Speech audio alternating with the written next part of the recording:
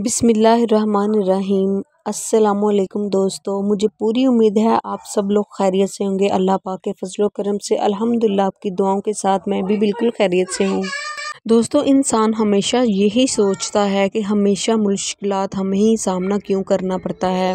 लोग अपनी ज़िंदगी में इतना खुश होते हैं, हम क्यों इतना परेशान हैं, हमारी लाइफ में इतनी परेशानियाँ क्यों आ जाती हैं? ये बस हमारी सोच होती है। अगर हम देखें हमारे इर्द गिर्द या हमारे घर के लोग, तमाम लोग अपनी अपनी मुख्तलिफ़ छोटी छोटी परेशानी में मुबतला हैं।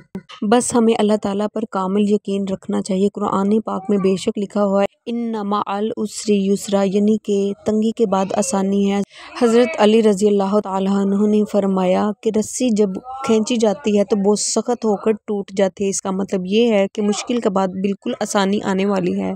दोस्तों, मुझे पूरी उम्मीद है, जो बात मैं आपको समझाने की कोशिश कर रही हूँ, आपको समझ आ गई होगी। इस वीडियो को ज़रूर सब्सक्राइब करें। अल्लाह पाक आपकी मुश्किल को आसान करेंगे।